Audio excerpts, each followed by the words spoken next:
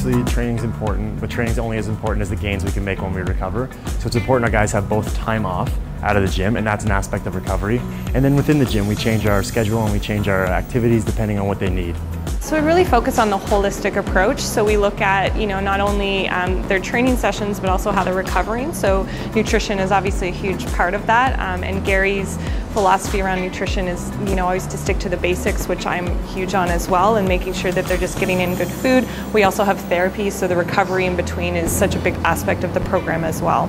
So what we try to do with food is we try to make it high in good fats, a good quality protein, micronutrients, antioxidants. Today we're featuring tart cherry juice, which is outstanding for recovery and inflammation, and we're adding some fresh golden beets and beet greens as well. It looks like a like a soft drink, but when they drink it, it really helps them to recover and to feel a lot better than they did when they first started.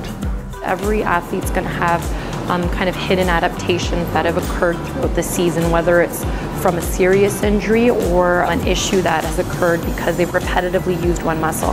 And this changes in every athlete. So before we start with anyone, um, every session we do a really thorough assessment and find those areas that we need to release or work on, and we do that using soft tissue work as well as electroacupuncture.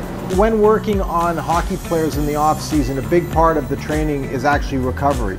In their training program, they have to do a lot of exercises that will counterbalance the imbalances that are created from skating and therefore strengthen them for the upcoming season. In addition to different soft tissue techniques, we incorporate acupuncture to stimulate recovery. Acupuncture has a twofold effect on the body. One is it'll have a neurological effect to reset the nerves and stimulate recovery.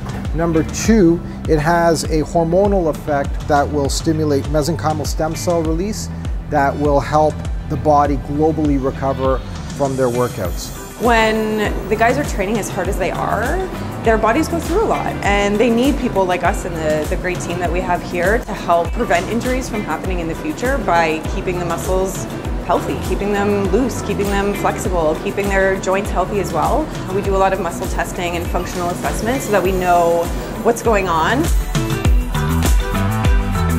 One of the most important things that I teach the guys is how to breathe properly. And when you know how to breathe properly, you can start to balance your nervous system, control your thoughts, manage your emotions, which helps for less recovery time and more stamina. Helps you be able to face your challenges a little bit easier instead of getting caught up in reaction.